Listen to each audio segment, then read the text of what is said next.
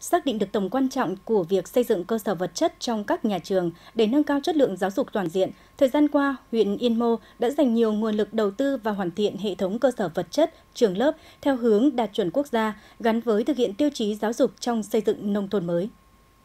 Thư viện thân thiện theo mô hình Room to Read của trường Tiểu học Yên Thành mới được đưa vào sử dụng trong năm học này. Thư viện rộng rãi, khang trang với hàng trăm đầu sách được sắp xếp theo hướng mở, tạo điều kiện cho các em học sinh tiếp cận dễ dàng, phù hợp với sở thích và khả năng đọc của từng em.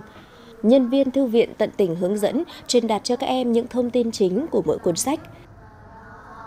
phân loại sách theo mã màu thì tôi cũng sẽ ừ,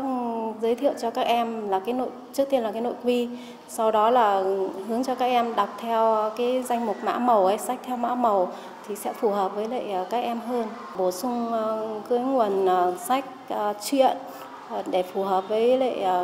lứa tuổi của các em. Các bạn ấy rất là hào hứng ừ, trong quá ừ, được lên thư viện qua các tiết đọc.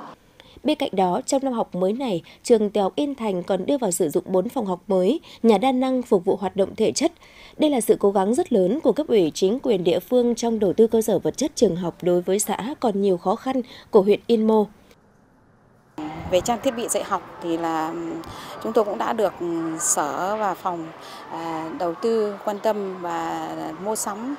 À, những cái trang thiết bị dạy học hiện đại. À, được à, năm vừa qua chúng tôi mua được 3 TV thông minh và nhiều trang thiết bị khác. Đến nay thì là cơ sở vật chất nhà trường là cũng tương đối đầy đủ. Trong năm học 2022-2023, trường Trung học cơ sở Mai Sơn đã đưa vào sử dụng 9 phòng học mới, sửa chữa 12 phòng học, qua đó góp phần khắc phục tình trạng thiếu phòng học như các năm học trước đây. Các phòng học và phòng chức năng được trang bị đầy đủ thiết bị, đồ dùng cần thiết, đáp ứng yêu cầu đổi mới và nâng cao chất lượng giáo dục của nhà trường. Cơ sở vật chất nhà trường có những cái nét rất là nhiều nét nổi bật, thay toàn bộ điện, à, quạt mát và điện chiếu sáng nên nhà trường cũng đang có kế hoạch xây dựng tham mưu để mở rộng khuôn viên của nhà trường để đáp ứng được cái diện tích để đạt yêu cầu của trường chuẩn quốc gia ở mức độ 2 theo yêu cầu mới. Ngành giáo dục và đào tạo huyện Yên Mô đã tham mưu cho cấp ủy chính quyền địa phương ưu tiên nguồn lực đầu tư hoàn thiện hệ thống cơ sở vật chất trường lớp.